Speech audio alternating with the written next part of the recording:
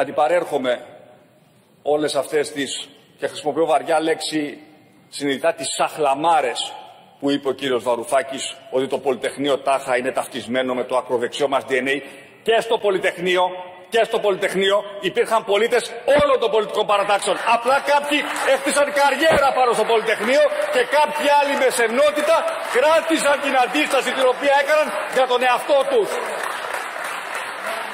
Πάλι θα μας πείτε ότι μόνο αριστεροί ήταν στο Πολυτεχνείο.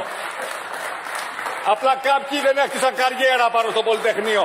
Να το θυμούνται όποτε τους βολεύει. Άντε να τελειώνουμε πια με αυτά τα ιδεολογικά άβατα. Σε αυτή την αίθουσα. Αρκετά πια. Σας τα είπα για την αντίσταση, θα τα ακούσετε και για το Πολυτεχνείο.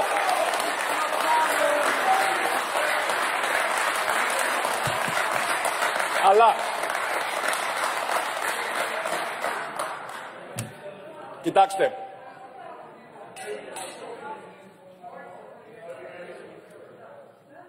Κοιτάξτε. Αυτό απευθύνεται και στον, ε, και στον κύριο Κουτσούμπα και στον ε, κύριο Βαρουφάκη που μίλησε πώς μας την είπε την ανυπακοή, την, την υπεύθυνη ανυπακοή. Ήταν μετά τη δημιουργική ασάφεια. Ε, μαζί, παρέα πάει. Ε. Ναι. δεν είστε, δεν είστε ο Μαχάτμα Γκάντι που μίλησε για αυτά. Εντάξει, λοιπόν, υπάρχει πράγματι αυτή η έννοια, μόνο που χρησιμοποιήθηκε σε άλλες εποχές και σε αντίσταση σε καθεστώτα τα οποία ήταν ανελεύθερα και μη δημοκρατικά.